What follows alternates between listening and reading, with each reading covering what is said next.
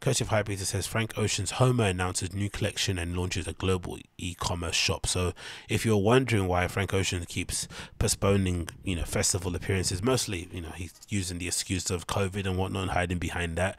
But for the most part, he pops out to the odd awards ceremony, mostly the Met Gala and nothing more of that ilk. Maybe Grammys has he been there? I'm not too sure. I don't think he has, but you don't really see much of Frank Ocean's apart of Frank Ocean's uh, Frank Ocean apart from you know weird um, zoomed out pictures of him cycling somewhere in New York, which is a bit strange too, because I think everyone's known for ages that he lives in New York, right? Um, it's not really a big deal. I think his store, if I'm not mistaken, was going to open up in New York, the kind of jewelry store that he's got going on there for his brand Homer. So it doesn't really make sense why people get so excited to see him in New York, right, cycling around. Like, what else is he meant to do? But he obviously lives a pretty nomadic life in that respect. He doesn't really go out that much. It feels like, um, or he doesn't really. He's not really mingling in the industry circles that you'd think he would be. Obviously, not think he would be that. Hmm, not think he would be, but you know what I mean. And the music obviously is pretty much non-existent in terms of new new singles and new bodies of work. And I was wondering this off the back of a clip that I saw of Ari Lennox talking about how she basically is considering maybe hanging it up when it comes to being a musical, a professional musical artist. She might put out one last album and decide to pivot into other things because the it, the music business side of it's quite depressing, right? How kind of hard it is to navigate and how much it sucks out of you as a person and whatnot. And I completely understand that, but it also made me think about this idea. It also made me think about something that I thought about a lot when it comes to really highly creative people who maybe just have a lot of ideas who maybe get typecasted or maybe get put into one box when they're coming up because they just happen to be really good at this one thing earlier on, but they want to do these other things. But then what ends up happening is that I feel like music and a lot of things, maybe like even like sport, maybe even just being an influencer. I think they're great occupations because what they allow you to do is they allow you to get your foot in the door. They allow you to showcase your talent in one side of things, and then if you're smart and you're diligent and you've got the right people around you, you can leverage that one bit of fame for other bits of fame, right? Or you can leverage so you can leverage that one bit of fame to open different doors that you probably wouldn't be able to open on your own. So I'll think of it from Frank Ocean's side of things. Maybe he's just one of those guys who it's not his fault. He just happens to be really amazing at singing. It's not his fault. He just happens to be an absolute wizard when it comes to songwriting, when it comes to making up of melodies and whatnot. But what he always wanted to do, maybe, was to be a somewhat, you know, what would you call it? Um, a renaissance man, right? He wanted to own again his own jewelry company. He wanted to have a small boutique somewhere in you know all the kind of popping cities around the world. Maybe that's what he's always wanting to do he wanted maybe to get into musical production because you think of some of these stage designs that he's done throughout his time performing or short time performing live shows. They've always been really interesting his approach to how he releases music in terms of the magazines he does the vinyls the prints how the vine how the magazines were even sold right in terms of these weird pop-ups popping up in random places especially here in london.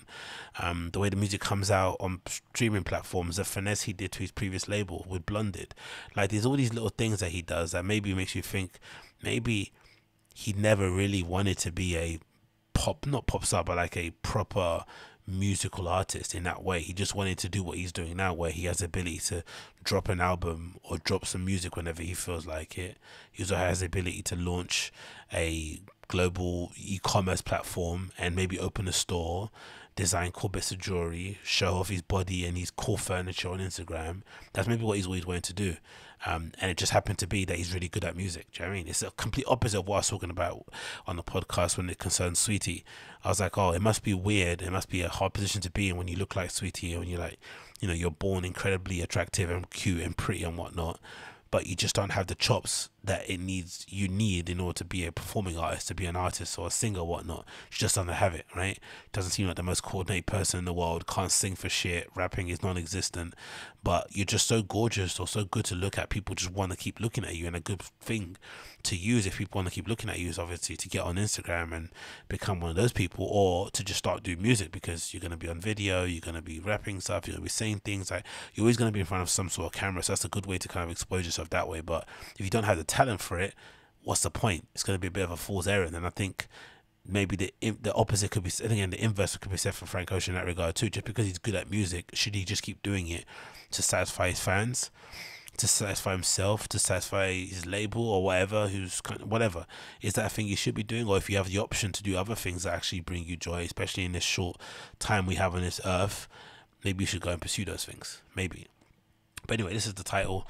Um, some images, obviously, showing you the magazine itself. Obviously, like you know, when it comes to print and putting these kind of things together, Frank Ocean's always really good in that regard. I wonder if he has received any help when it comes to putting these things together. This is the stuff that he thinks up in his mind. But I love that he's really into magazines. I love that he's really into print. Um, the jewelry pieces he designs for Homer look really, really interesting. Stuff that you obviously won't find in different in other places in terms of how he designs jewelry and the sort of um, things that he uses. I love the fact that these little ornaments. Um, I think uh, I don't know what they're ornaments or whatnot, but they kind of look like um, LSD tabs and whatnot or acid tabs. So that's pretty cool to see and just really cleverly done. The scarves, of course, they're included as well. How much are the silk scarves? the silk scarf it doesn't say right it's a price and request i'm assuming or does it say there but i can't see i don't know but yeah Wheezy scarf dolly scarf dolly scarf xl Wheezy scarf xl they all look really really cool man. Everything here looks really well presented really well put together. Um I, I think did i see somebody on youtube that purchased a homer piece? I think it might have been one of those um korean or japanese sort of like um fashion vlogger guys that are really cool that go around shopping for really expensive cool things and they kind of show off online. That whole subculture is always great. I love it because it reminds me of the days when i used to post on this forum called fifth dimension back in the day. That was kind of a little bit like that. It had a lot of people that kind of lived in southeast asia a lot of people who at the time i didn't know because i was flipping 18 years old by the time these guys were like in their mid 20s early 30s so they were making what I was basically make nowadays, right, in terms of a salary, and they were able to buy all this stuff. At the time, I was like, how, how are you affording Visvim? How are you doing this? But basically, they had just normal jobs. Um, but it was cool to basically see them buying neighborhood WTAPS, Visvim, Goros. Like it was just a crazy, crazy time. So those vloggers on YouTube are definitely people that kind of remind me or make me reminisce about those old guys. But again, they're far nicer in it because those older guys on Fifth Dimension were fucking cunts. Um, but yeah, look at these bracelets. They all look so so good, man. Designs are amazing. I bet they must look so much better in person as well. I'm sure he's using you know, uh, specific gems. That's something I'd actually like to get into, actually, jewelry, just in terms of, of a, even if it's not buying loads of amazing things myself, just as a fan, in terms of understanding stones, clarity, weights, cuts, and all that stuff. That's be a really good thing to dive into because I'm already thinking going forward that I want to start getting serious about relearning how to skate again because I used to skate when I was younger. I think I started when I was what 13, 12, skating until about 19 consistently and then kind of dropped off and haven't done it since. But I would like to relearn to skate again and just kind of use that as an opportunity to kind of get geeky and get kind of really interested in something to a hardcore level so that I'm not fucking spending time, you know, perusing the news and reading about fucking COVID and whatnot and learning about people's divorces who I don't know. It just doesn't need that information in my head. So I'm thinking of doing that, buying a cruiser board and just basically learning how to skate, watching loads of videos of guns and whatnot and just kind of getting deep into that world again because that gave me a lot of I won't say purpose, but it gave me a lot of time to basically do stuff, right? To be outdoors, to be busy, meet new people, um, learn, fall over, all that shit. It's really cool. I, am I'm, I'm really down for it. And again, maybe joy is another thing as well I can do to off the side of that as well. But this all looks so so impressive, so so cool. And again, like he definitely has puts a lot more effort. It feels like into this sort of stuff that he's doing with the jewelry than he's ever shown us with his music. I feel like especially nowadays. Maybe Frank Ocean first coming into the scene different because again he was trying to get off his label clearly, but the kind of care, attention to detail, the consistency in messaging, and the consistency of just putting out stuff in general um, definitely leads me to believe that this is something he's always definitely wanting to do, um, more so than maybe doing stuff like, you know, making music, which he just happens to be really talented at. Again, that must be a weird place to be in. You happen to be really good at this one thing, but you don't also enjoy doing this one thing on a daily basis. But anyway, quick little article here from Hypebeast said Frank Ocean's luxury brand Homer has officially launched its e-commerce, making its products available worldwide. So it's a luxury brand. So when you have a jewelry brand, you just call it a luxury brand. You don't call it a jewelry brand. I guess because you want to allow yourself the ability to do other things, but if you're a jewelry brand, you're a jewelry brand. Why call yourself a luxury brand? Anyway, continue.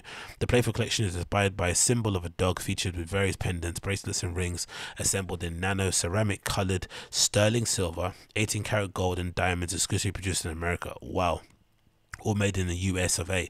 Um, Ocean shares a description of the collection saying, When a dog comes to stay, explores, a dog as a symbol of one that walks lighter.